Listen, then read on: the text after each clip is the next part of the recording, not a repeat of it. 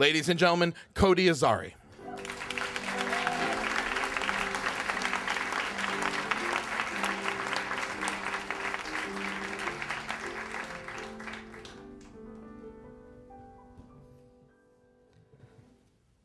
So, when I was a young boy, I, I wanted to be a fighter pilot.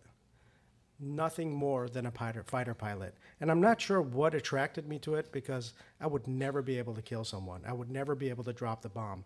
But I think there was this sense of power within these machines, this sense of purpose, this sense of commitment, and the sense of the mission that there is no failure. You have to make this mission happen. Uh, and it has to be perfect because you have a 20 something million dollar plane in your hand. Um, except there was a problem. And the problem was that I'm Persian. Uh, I'm an immigrant from Iran. And any self respecting Iranian parent would never let their child be anything better, more than a doctor or a lawyer or an engineer. Those were the three options, but mainly doctor or an engineer. And there was, there was no choice other than that. So there was no way my parents were going to let me do anything otherwise. Well, this story kept ringing in my ear from my parents doctor, engineer, doctor, engineer. This was this incessant little tweaking that I heard always. Um, so I had to tell a lie. And, and my lie was, you know what, I'm going to become a, law, a, a, physician. And, and, I said that just to get them off my back. Um, and really, that's all it took. And then all my family members started to accost me. And in one particular case, I remember this little old lady that was a family friend that lives in Pittsburgh. She would start sending me articles. And she sent me articles about this young, pioneering transplant surgeon by the name of Tom Starzl. And this was a man uh, that was revolutionizing the field of transplantation by performing liver transplants. Now, liver transplants are commonplace right now, but back then they weren't liver transplants were unbelievable at that time. And to put it into perspective, these were bloody, bloody operations. Some of these operations would require a thousand units of blood, a thousand units of blood for one person. In fact, they were so bloody that in a large room, these were not small operating rooms, they would have to put blankets at the doors so that the blood wouldn't gush out into the middle of the hallway. On top of that, for example, in the city of Pittsburgh, they would have to stop elective operations. They would stop them because the city's run out of blood for this one patient. So none of the other hospitals could do elective operations because there's no blood available in the city. Add to that, the patients were dying. They either died on the table or they died in the ensuing weeks. Now, can you imagine what this young surgeon was going through? Uh, the hospital administration was after him. The public was after him. The media was after him. Uh, and why are you doing these operations? Yet he had this conviction and he had this sense of purpose to know to push the operation forward. And now, today, transplantation of uh, livers is routine. In, in our hospital, for example, we do three in a given day. Yet it took this person's conviction, conviction to do that. So I decided, you know what, I think I can. I'm, I'm going to be a transplant surgeon. So I decided to go to medical school. Yet in medical school, a transformation happened to me. And the transformation was almost in gross anatomy class. And it was the dissection of the human hand. And the reason this transformation happened is I'm not a religious person, but if there's any evidence of divine intervention, it has to be the human hand. There is no greater source of functional anatomy other than the human hand. It's, it's perfect. It's an, it's an organ of grasp, so I can grab things. It's an organ of strength. I can break bricks with my hand. It's an organ of precision. I can play the concert piano or the concert violin with, with the same hand. It's an organ of sight. I, I, want you to close your eyes, touch anything in front of you without looking at it. You know exactly what you've touched. It's a sexual organ. And finally, and it's an organ of expression, you all know what this means. You all know what this means. You all know what this means. And you certainly know the New York taxi cab driver is a middle finger. so, could we do hand transplantation? Could we actually take a hand from another human being and attach it to a hand of somebody that's lost one, well, nobody had done it back then. It was only in thought, yet the complexities were too great. So I decided to become a hand surgeon and go into hand transplantation surgery. And I thought it would be done. If it was going to be anywhere, it would be in Pittsburgh, where this young man was. So I went and did a general surgery residency. I did a plastic surgery residency. I did a hand and microsurgery uh, residency.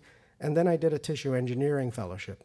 Wait, did, did I just do what my parents had wanted me to do? a doctor and an engineer? I, I think so.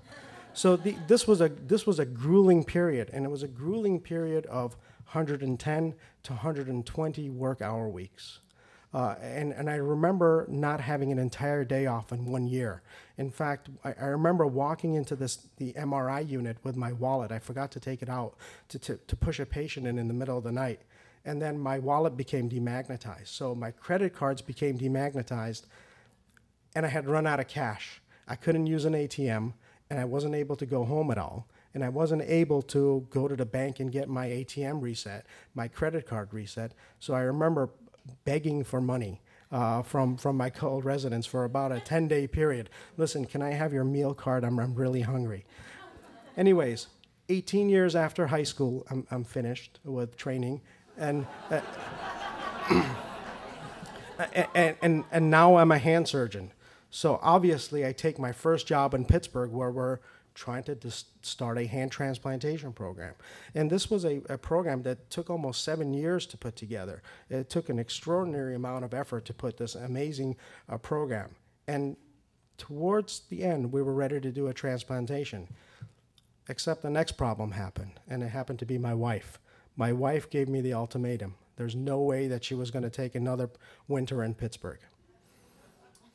So my only choice was move to California. So right before we were able to finish this program and perform transplants in Pittsburgh, I moved to California. Yet there was no way I was going to be denied. I was going to absolutely participate in this program, and I was absolutely going to do this operation that I had devoted at least 18 years to, to learn how to do. But not many people had done it before. So I'm in California, and it's March of 2009 and we received a call. Our first patient that we were on the on the transplantation list had received a match. He had a, we had a match. We had a donor for him, and he, he was a young man. He was a 26 year old Marine that had lost his dominant hand in a munitions accident. Um, I, I don't know what it means not to have a hand. Um, I don't think many people do. I know what it means when I get a paper cut. I can't type that day. I'm, my finger is sticking out. But I don't know what it really means not to have a hand. Yet we have a hand for this man. Um, and and the why it's such an incredible experience is it's difficult to find a hand. Not only do we have to have the exact same match, so it has to be a blood group match just like any other organ, but it's this is an external organ. It has to be matched according to size. It has to be the same size. It has to be the same color, the same skin tones. It has to be the same hair patterns as, as this Marine. And we found that. Yet I'm in California and the hand's in Pittsburgh. I got the call during the middle of the day. It was a it was a Thursday, and I was already in the operating room, and I certainly couldn't stop my operations. I finished my operations that day and took my car, went to the airport, and bought the first ticket out of Los Angeles. Now, uh, visions of 9/11 are happening to me because you know there's this crazy guy saying, "I got to get to Pittsburgh. I got to get to Pittsburgh with a credit card. I don't care if it's one way or not." You know. Um, took the red eye and I was in Pittsburgh. Now, it's 24 hours that I've been awake. Um, and, and in the plane, I was this caged animal. Uh, I was I, I couldn't sleep. My, my, my legs are shaking because and, and I can I can sense that when I look at boxers. They're just standing there when they're giving the instructions by the referee. They're they're like these animals that want to explode. Yet something they're just waiting to go. And I was just waiting to go. Yet at the same time I was filled with this incredible sense of dread can I stay awake for another 15 hours? I've already been up 24 hours. Can I really stay up and have my faculties intact to do this credible, incredible operation? Once I got into the operating room, something happened. And, and that's called the zone.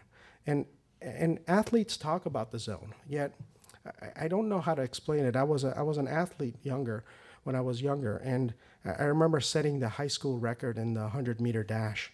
Um, and I felt this sense of uh, moving effortlessly through time, effortlessly through space, and everybody else stood still. And I think that's what athletes meant. And doing this operation was really the same way. It was this effort, effortless motion where you're looking down a goggle, you don't know what's going on around you, um, you, you almost can't hear. All you're seeing is the task ahead of you. And you're and you're moving very, very quickly, yet everybody else is moving in slow motion. It's really an incredible feeling that I've only felt this one time in my life. And we begin this operation. And this is a difficult operation. Uh, you have to attach the bones. There are two bones. You have to get them the right length. You have to make sure they're absolutely the right length to attach them. Then you do the tendons. You have 23 tendons. You have to find the scarred tendons in the forearm of this individual um, well, there's no markings on it. You have to find out where they are, and then you have to attach it to the new hand. But you have to do it in the absolute perfect balance. The reason we can use our hands so well is because the tendons in the palm and the tendons in the back are in absolute harmony. Their tensions are set appropriately. Yet there is no cookbook of how to put these tendon tensions together. This hasn't been really done before. Then come the nerves. Well, the reason everything moves is because the nerves have been uh, appropriately put back together. And nerves are like coaxial cable in your TV, um, except there's no red to red, green to green, yellow to yellow come. and you have to put those back together. Then comes the vessels, arteries, and the veins. And, and these are tiny structures. The veins were one millimeter. In fact, we have to use a microscope, magnify it 30 times, and then you're using my, uh, sutures that are just a quarter size of the human hair. You actually can't see them with your eyes. And you have to absolutely perfectly bring them back together uh, in order for it to work. Otherwise, the graft will fail. You'll get a clot and it'll fail. And to add to the tension of all this is we haven't done this before. There is no cookbook of how to do it. And make it even harder, your hands are frozen. We have to do this on ice to preserve the hand. So my, my hands were, were burning. They were so cold. And all I could think about was, I wish somebody could pour warm water on my fingers. 15 hours later, the operation is done. And we take this young Marine into the recovery area.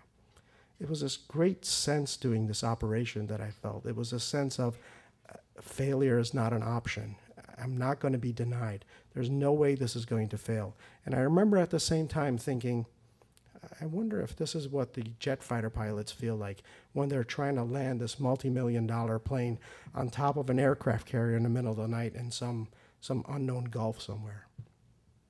The Marine is back into the operating room. He's finished. He's back into the recovery area. And I asked him to move.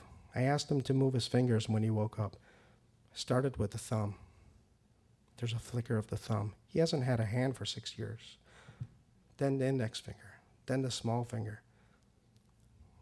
By the time we're at the small finger, there's not a dry eye in the room, and I'm continuously sobbing.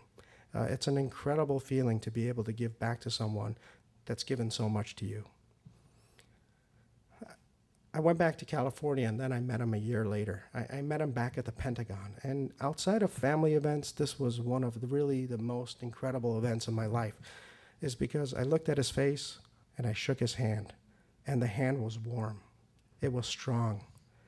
And it was sweaty. Human hands are sweaty if they have nerve function. Uh, and of course, I'm going to get a pose. I'm going to get a photo op. So I'm like, well, let's get one arm wrestling. Next thing you know, this young Marine has pinned me and I can't get out. Uh, not really a great photo op.